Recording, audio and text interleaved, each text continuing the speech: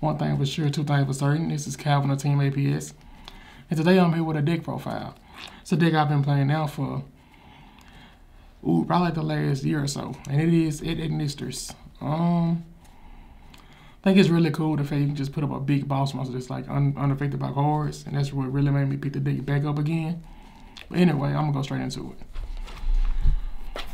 So first we have one Danmari. Basically what it does is it's a negate from the graveyard if I control a Link Sinks or a higher monster. You don't really need more than one because it is definitely a brick.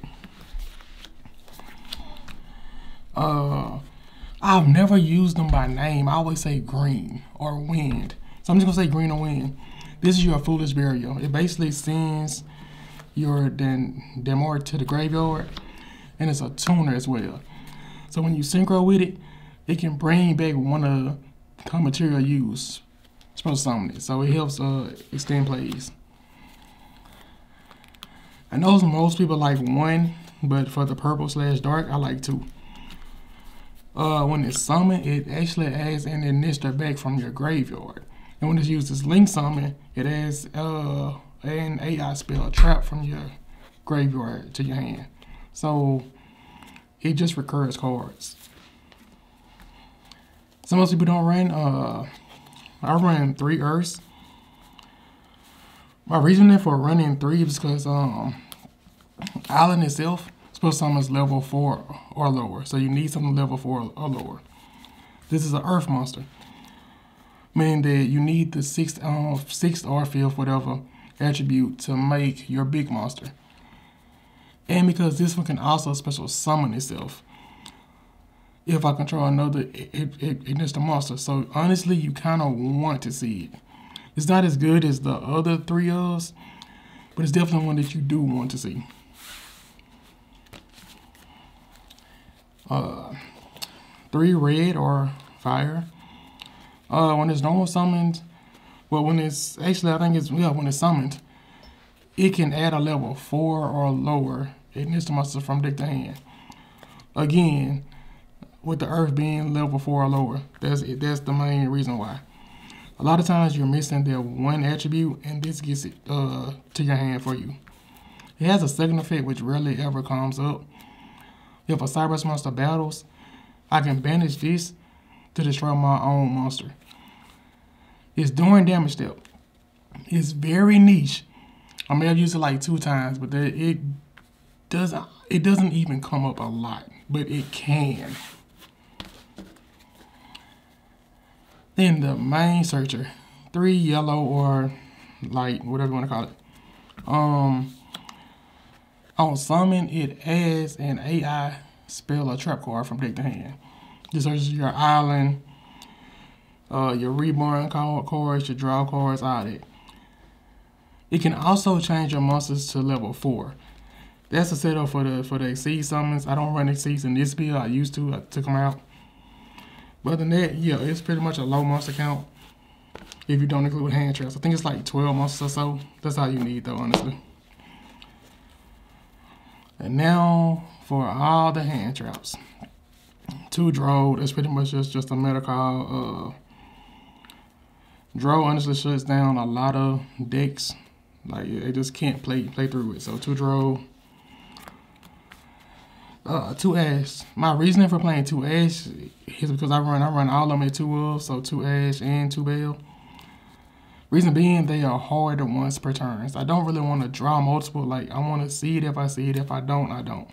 But I feel like these are the two best next to draw to run.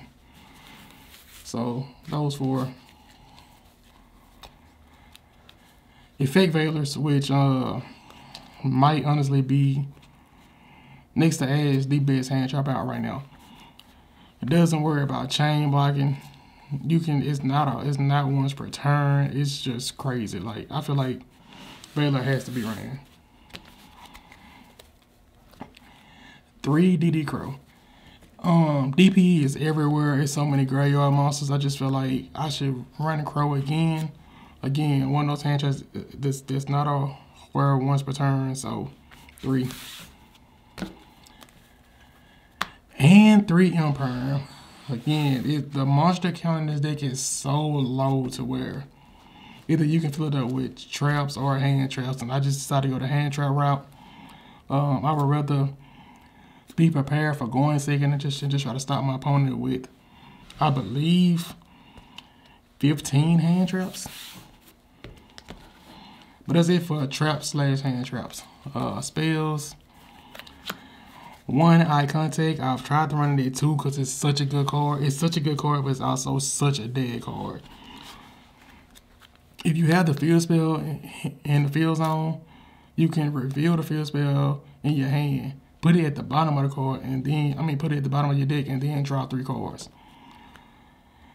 The field spell goes to the bottom of the, of the deck. So literally your chance of drawing the field spell again just lowers. And then I'm drawing three cards. So it's one of those cards that's like really, really powerful. But one is just enough. Uh, one A.I.dle Reborn, it's basically just your monster reborn the deck, but it's, but it's, but it's also a quick play, so that helps. That's really what it does. It's just a reborn. Gotta have your searchers. Three A.I.Meet Yous. So with this card here, it is a hard one. Um, you reveal a Cyberse monster with 2300 attack. Then you can add um, you can add a add a next monster from your deck that has the same attribute as, as the monster revealed. The one drawback of this card that a lot of people seem to forget about is that once you do this, you can only use Cyberse monster effects for the rest of the turn. That comes up a lot I've seen a lot of people play the deck and just completely ignore the fact that that happens. And also, if you don't summon the monster that you revealed from your extra deck, you take the attack and, and life point damage, which is always going to be 23. The main card deck that makes the deck run is Ignister Island. Uh, this is literally the heart and soul of the deck right here. If I don't control a monster in my main monster zone, I can special summon and it in the monster level 4 or lower from my hand. One attribute per turn. Well, one of, how do I say it? Each attribute one time. So there is six attributes, so that's essentially six specials per turn. It just like help you link climb, all that kind of stuff. Literally the best card. You want to see it, so terraforming, even though uh, yellow can search it out, the link can search it out. You still want to see that card. So three terraforming. I mean one terraforming. I wish I could play three. Lord. And then in out the main deck, uh, Cynet Mining. You don't really care about your monsters going to the grave because you can just get them back anyway. And it's just, you know, it's a Cyberse deck, Cyber Search card. Have to play it. So that's the main deck. Main deck is uh 40. I've always played 40. Extra deck is so tight. Um, three Dark Infants. I tried it at two, but you need the third one so bad sometimes when you when you when you're trying to combo. I want to run two, but you just need it. This is your main starter. When it's summoned, when you well when you when you summon it, you can add the field spell to your hand. And if a Cyberse monster you control with 2300 attack uses his effect, you can chain this effect. It moves itself to the zone that it's pointing to and then changes its uh, type and its attribute.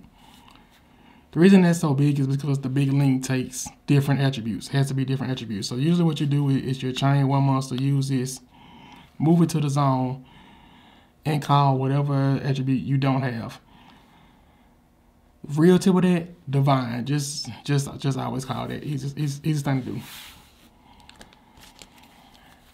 Uh the one link spider, that's only basically because of Nibiru. Uh you get nibbed in this deck, the token becomes this. Monster zone is clear, keep your combos going. Only reason. Cyberse Wicckid. Um, this is a definite card. If I had room, I would run two of. This card is so good.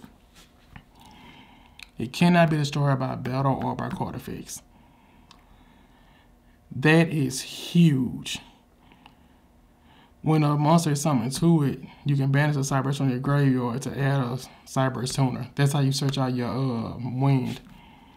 Like if I really had to run for this card, I would I would run to. It doesn't happen often, but you can brick. And just ending, ending on this on this by itself can buy you a turn. I had to cut, this, cut the second one for this right here. IP Masquerena. Uh, I'm gonna go ahead and break it up the order, but the reason I had to cut it for that is because uh, you need these two. IP and then Abramax. Um, I wasn't running these for a long time.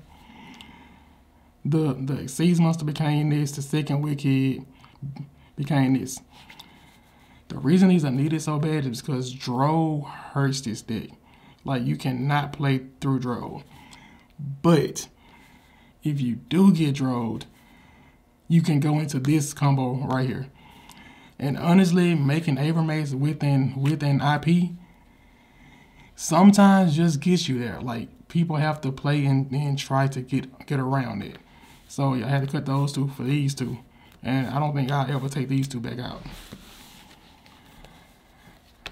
Uh, next best card, Splash Mage. You pretty much have to run two Splash Mage. One, Splash Mage just does so much for Cyberse decks. It brings the Cyberse monster back from, from the graveyard. It's just, it just link climb so much.